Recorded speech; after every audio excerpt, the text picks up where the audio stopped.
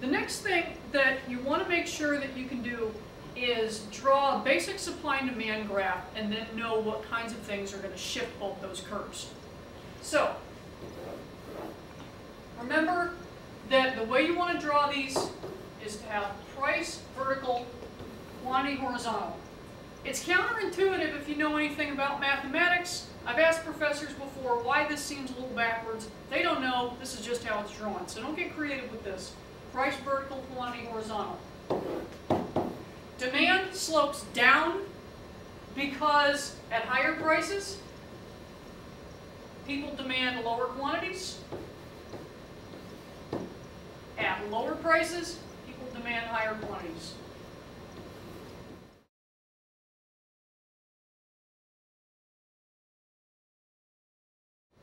That's human nature. You want to buy more stuff cheaper.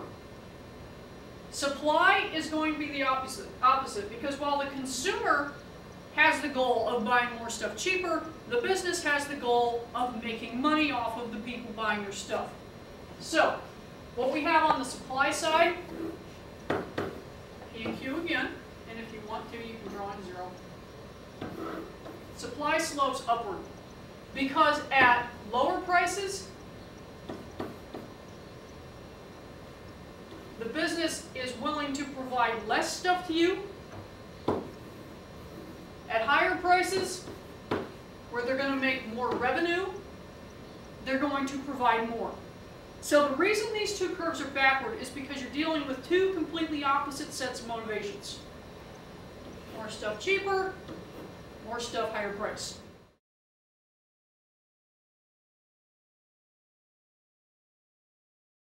When you put these two together,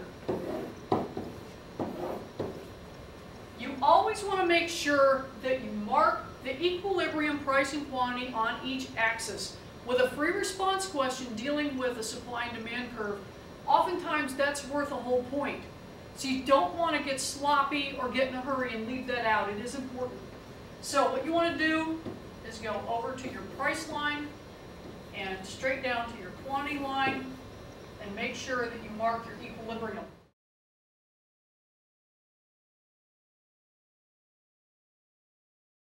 Equilibrium is where the two curves intersect. On a demand schedule and supply schedule, this would be where the price and quantity are going to be equal on both. Now, factors that can cause demand to shift would be things like consumer tastes and preferences. Something comes into style, demand increases. Nobody wants it anymore, demand decreases.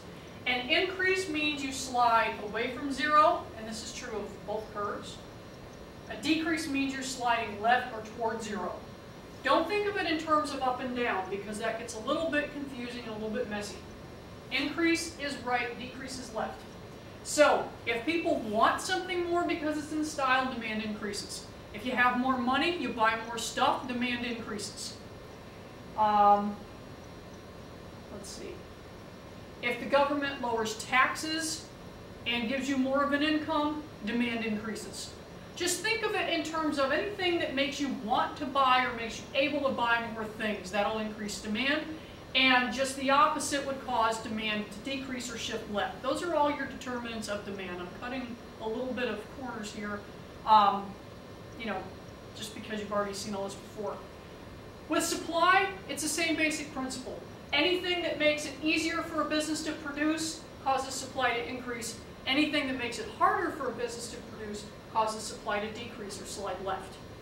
If the business, for example, um, decides that a machine that's used in a particular industry is really unsafe, taking away some of their technology, supply slides to the left.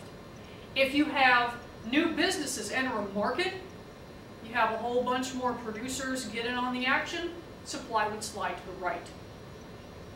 Because we're dealing with not individual suppliers, that would be more of a micro thing, we're dealing with the whole market. So more businesses, they feel more positive about future prices, they think the economy is doing well, supply increases. Okay, those would be your determinants of demand. Now, one of the questions that we've had lately that we've been dealing with that you guys have been forgetting is the difference between a movement and a shift. A change in any one of your determinants of demand or supply causes a shift. Shift means you pick up the curve and you move it. What that results in is a new price and a new quantity.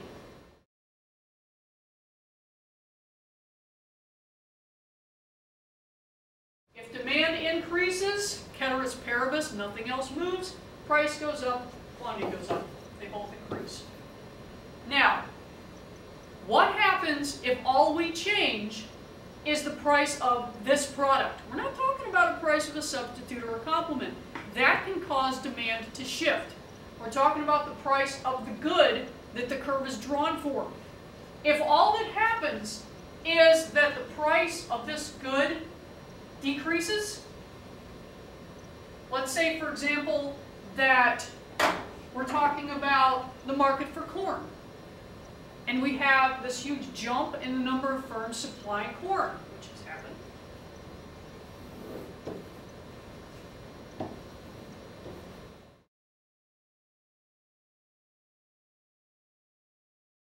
So that what we end up with, that's weird, the same point. Let's say we're at P2 and Q2. All we've done is slide down the curve. A change in the price of a product does not shift its demand curve, does not shift its supply curve. They're drawn to accommodate different prices and different quantities. Okay? A change in a determinant of supply or demand causes a shift.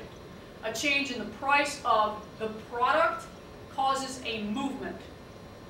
Movement is on the curve, shift means you pick up the whole curve. And if you get that backwards, you are dead in the water for at least half a dozen multiple choice questions. So if this is a problem, you definitely need to work on it.